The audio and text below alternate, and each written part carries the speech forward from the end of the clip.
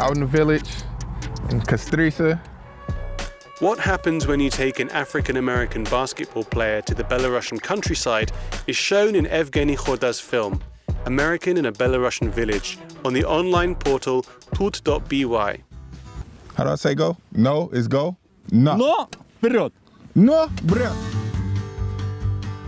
Both protagonists, the basketball player and a Belarusian farmer, are open for new experiences and overcome their own prejudices without theorizing or overthinking. a light and funny confrontation, originally done and a joy to watch. Congratulations.